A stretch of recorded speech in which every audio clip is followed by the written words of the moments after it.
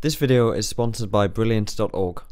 In the first video I made in this series, I mentioned that I have some smart plugs from TP-Link. Today I want to write a service that controls those. I have two of them. I have the HS100 and the HS110. They're both plugged in, one in here, one's in the living room. The only difference between them is the 110 has energy monitoring stuff built in. You're supposed to use the Kasa app to control them but let's see if we can build it a service to do it instead. It's going to be very similar to the Hue service from the last video, so I'm just going to do it in Node again so I can copy and paste a lot of that code. It's also interesting to note that these devices have encryption, and I guess you're not supposed to do this. Uh, like TP-Link don't want you to control them from anything outside of the, the Kasa app, but people have reverse engineered the encryption. There are libraries available that will let you control them and it becomes a really easy thing to do. And there, there are blog posts about how people have reverse engineered the encryption, which I'm not going to go into, but it's an interesting read. I'm just going to set up a new node project here.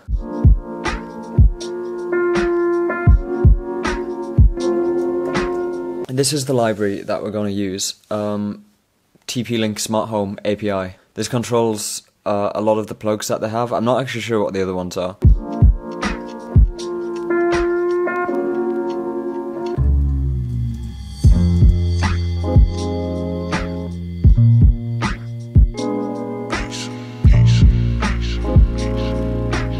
I'll use Node 11 this time. Last time I used Node 8, uh, and somebody asked why. Not for any specific reason, I just misread the Docker Hub page on this because the versions start number 8 and then it goes to number 6. So it's like, oh, 8 must be the latest. Turns out it's not, 11 is the latest.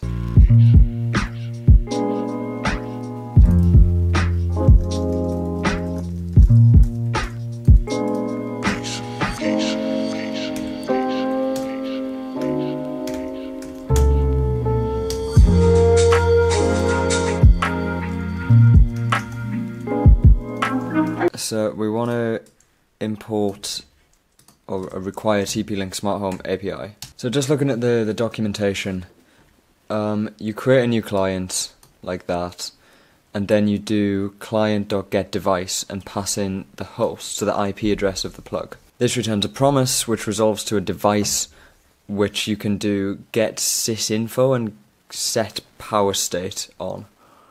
That looks like all we need, to be honest the the docs are, are huge, but let's just let's go with this and see how far we get. I'm just distracted by outside. They are using a small crane to build a medium crane so they can take down a big crane. I'm just wondering whether this would be better not as a class actually. Classes are just syntactic sugar over the top of prototypes anyway in JavaScript, but you can get a long way with just functions.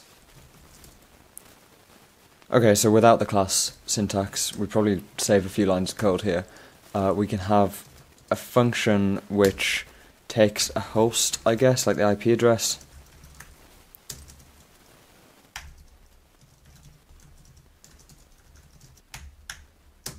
So there's get info and get sysinfo. Get info request common plug details in a single request. Okay, get info just does more stuff. Let's use get info. I want to minimize the number of requests that I make to the plugs um, because I don't want to DDoS them.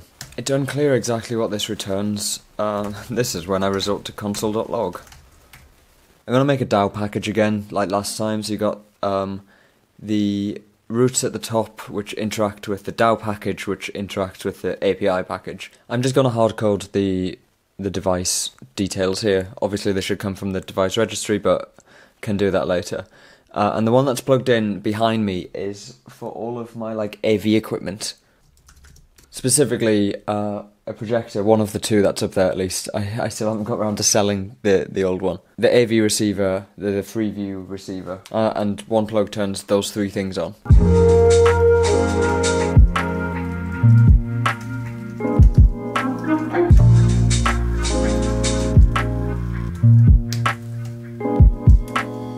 So we want to use this get state by host function in the TP-Link client but for every device that we have. So devices is the array.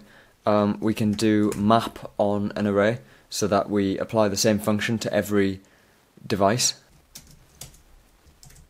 So let's assume this returns uh, an object representing the state of this plug. It'll be a promise so we can use async await everywhere. And then we're going to do something here to apply state to device. Devices.map is going to return an object which is the result of applying this mapping function to every element in the device's array. Given we've prefixed the function with async, it means it's going to return a promise. So what we get is an array of promises here. And I think, please correct me if I'm wrong, um, what we can now do is promises.all and pass this array of promises into it. And this means it'll essentially do everything in parallel.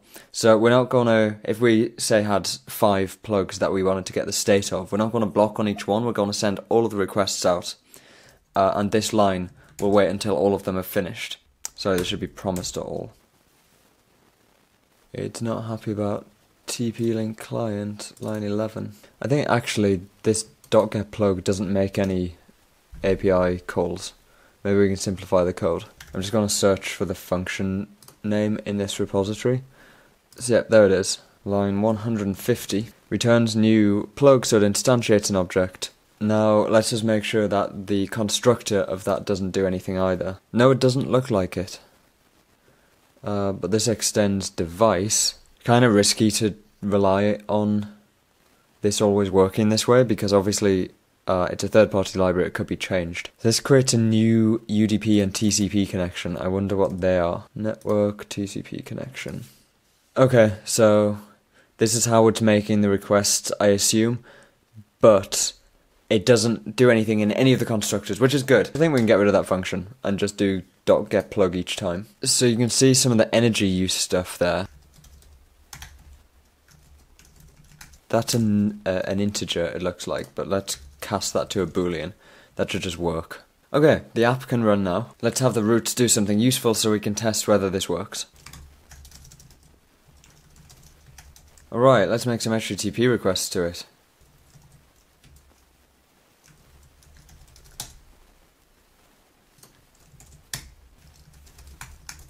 Nice, okay, so it returns power false. I'm going to use the Kasa app to turn the powder on. I've just heard it click on. Uh, and this time it returns true. The colour's horrible there, but it does say power true. Amazing. Okay, we've got a service that can make requests to all of the plugs that are defined in the, the devices array, get their state, and then return it over uh, an endpoint. I wanted to spend the majority of this video on the energy monitoring side of this plug. The one thing my home automation system needs to do is tell me the state of devices. So it's great to be able to turn something on and off, but I want to be able to see what state it's currently in. So that's fine. It's really easy to do with things like the, the hue lights and the, the plug here.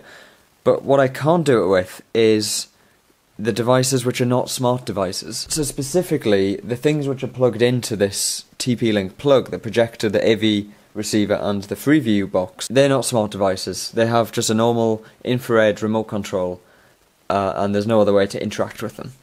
And the, the, the longer term plan here is I can put some infrared LEDs on a Raspberry Pi and control those, but there's no way to get feedback and understand whether the thing turned on or off. But when it's turned on, it's going to consume energy, and the, this TP-Link plug can tell me how much energy the things are using. So I can use that data to infer whether the devices that are plugged into it are turned on or not. And to make it just slightly more interesting, I've got three things plugged into that TP-Link plug. There's like an extension lead plugged into it, uh, and I think that I can figure out which set of them are on based on the total energy consumption. First thing to do is to use the Kasa app to figure out how much energy each device uses on its own. Right now, it's using 1.32 watts.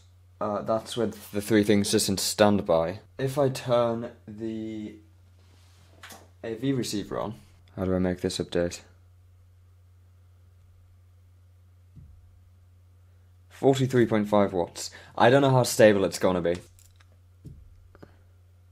43.4, 45.7, 45.6. Alright, there's some variation here with the AV receiver, but it's around 45 watts. Okay, now the Freeview receiver. 15, 13, 17.8. Uh, 18.6. I don't know why this doesn't update. You have to go backwards and forwards. Okay, it seems to have settled around 18 watts. The projector. I've turned that on. It'll take a while to warm up. Oh wow, this uses a lot of energy. We've got about 250 watts there. Okay, I've made a project just a pattern. Um, oh, it's actually gone down. 230. Interesting. Okay, that's settled around 230 watts. Way higher than the others. The three things are very different in their energy consumption, which means it should be quite easy to deduce from the total energy consumption which one is on. So we've got the energy consumption of the three devices.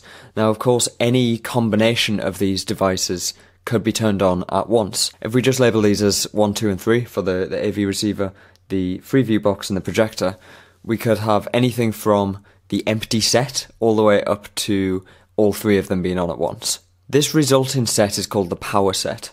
So we're first going to want to write some code that takes uh, an array and gives us the power set of that array. So then we'll have an array with every combination of devices that could be turned on, and we can just add up the energy consumption of each one individually to find out the total energy consumption for that combination. And then we loop through all of them and see which one is closest to the current energy consumption coming from the plug. And we use that to figure out which set of devices is turned on. Let's give it a go. I think at this point we want a domain package module, whatever they're called in JavaScript. We're going to make a class called plug. So this is our standard plug. We also want a version that will represent the HS110 that has the energy monitoring. Let's first just write the functions that we're going to need. So I mentioned the power set function. So it's going to be an array of arrays. Um, so it would return for 1, 2, 3. You'd get the empty set. You'd get 1, 2, 1, 2, 3, 1, 3, 2, 3, and 1, 2, 3. So power set is going to start as an array with one thing. We can have the empty set as the first element. That's always going to be something in a power set. So this will right through all of the things in the input array. And for each thing in the input, we want to combine it with what's currently in the power set. So in our first iteration, we're going to get first element, which might be like 1 in the input array if we, we use this example, and it's going to combine that with the empty set and add a new element with that to the uh, the power set. So we want power set at position J combined with the input array at position I. So that's going to add 1 to the power set. So we have the empty set and we have 1. Um, then we're going to move on to 2, and it's going to combine 2 with the empty set, so we get uh, empty set 1 and 2. Then it's going to combine 2 with 1, so we get 1 and 2, and you can see it starts to build up uh, a set of arrays that look like this. Then we're going to get 3, it'll combine it with the empty set to get 3 on its own, it'll combine it with 1, it'll combine it with 2, then it'll combine it with 1, 2 to get 1, 2, 3. So that should give us a power set. That's the first building block that we need. The config that's passed into this constructor is just going to be the information from the device registry. And it has the attribute field that we can just shove random stuff into that's specific to a service. Um, so config might look like this. Going to have attributes, which can have devices, which could be a map. And this could be like projector. What did that use? 230 watts. So that's kind of what we're working with. Um, we want to find all the combinations of the devices. So we want to do get power set of would that be config.attributes.devices, but just the keys.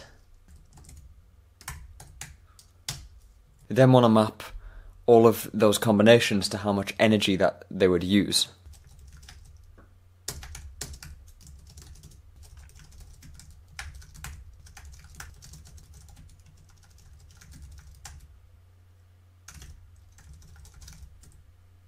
Uh, this is going to take each element in the power set. So, for example, the, the combination projector and Freeview, and it's going to reduce that array into one number. And that's just going to be the sum of how much power each thing individually uses. So then we can add an object to this power map. I'm not entirely sure where I'm going with this yet. So I've put the the wattage information into the actual devices. We then need to have the TP-Link client return the current power usage information. The DAO is then going to apply that to the object. Instead of just a, a, plain JavaScript object, this can now be an instance of the class that we made. And instead of just assigning the new state to the device, let's add a apply state function. And in this, we can figure out what the current state is.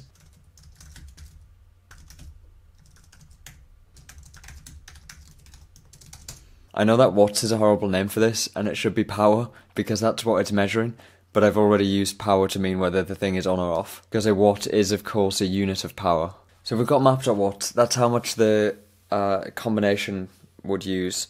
We can subtract what it's currently using, and we want the one that's going to be closest to zero.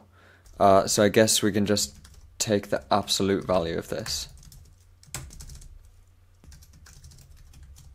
So if we haven't found a closest yet, uh, if it's null, or if d is is less than closest, then closest equals d. So once we've done that, uh, let's just console.log combination. You can see it's now printing an empty array, so presumably it thinks that nothing is turned on, which is correct, but it's probably just broken. Let's turn the FreeView player on. Oh, amazing, it works. So it now says the FreeView receiver is on. If I turn two things on at once. FreeView receiver and AV receiver. Let's try them all just for completeness. If I turn the, the projector on. So it still just thinks two of them are on. oh, now it just thinks the projector alone is on, which is not true. Still the case. I feel like as the projector's warming up, it's only using some of the total power it eventually gets to. It slowly ramps up. So there's this period in the middle where its current usage plus the other two roughly equal what the projector's normal full power usage would be. But hopefully if I do it again, there we go. So now it's warmed up it thinks all three are on. So there's this this period in between where it's not stable and the results are not reliable. I'll fix that problem if it actually becomes a, an issue in the future. But this is pretty cool. It it knows which devices are on. I think the next immediate steps will be publishing this information somewhere more useful. But this has been fun to do. I'm glad this works. I've had this idea for a long time. This is the kind of use I want to get out of these smart home devices that the, they just don't give you by default. The Kasa app can't do anything useful like this. It just tells me like it's using 43 watts. I'm like, great, okay. My code now turns that into some useful information that I, I can do something with. And the power set thing was kind of fun to think about. I didn't just know exactly how to do that off the top of my head. Uh, I had to take a while to think about that and figure out exactly how to iterate through the two arrays to get the right result. There are obviously other solutions to it as well. It's not the only way uh, to to implement this. But this kind of problem solving is really fun, uh, and it's a great way to learn. If you want to do more of it, then I recommend checking out Brilliant.org. Brilliant is a problem solving website with a hands on approach. They have a huge range of over 60 courses, they've added a load more since I last made a video, covering really quite interesting topics across maths, science, and computer science like logic, number theory, group theory, mechanics, astronomy, machine learning, and computer memory. Each course is interactive, beautifully illustrated, and the perfect way to get to grips with the subject. Please do try it out. You can sign up for free, and the first 200 people to click the link in the description will get 20% off the annual premium subscription. Alright, I think that's it. Uh, I'll see you for the next one. Thanks for watching.